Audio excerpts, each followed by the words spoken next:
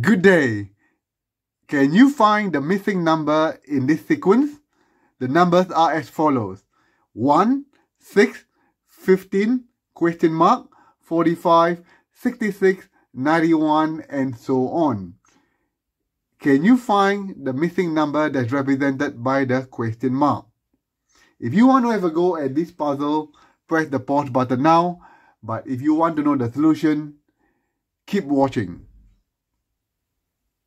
Welcome back.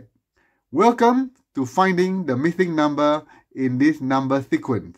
The numbers are as follows. 1, 6, 15, question mark, 45, 66, 91, and so on. So, have you got it? If you have not, then keep watching. So the idea of 1, 6, 15 is that 1 is made up of 1 multiplied by 1. 6 is made up of 2 multiplied by 3.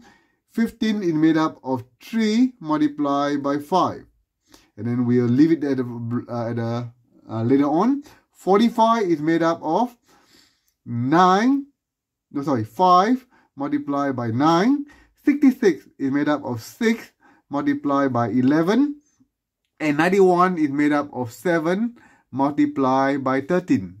What do they have in common? If you look at the first number, 1, 2, 3, this must be the fourth. This is the, the question mark. The first number, the next number will be 4, followed by five, six, seven. And the second number is 1, 3, 5, 9, 11, 13. So the missing number has to be 7. So you're going to multiply by 7. So what you're going to do, you're going to multiply 4 by 7. And then it will form a pattern. 4 times 7, that will give you 28.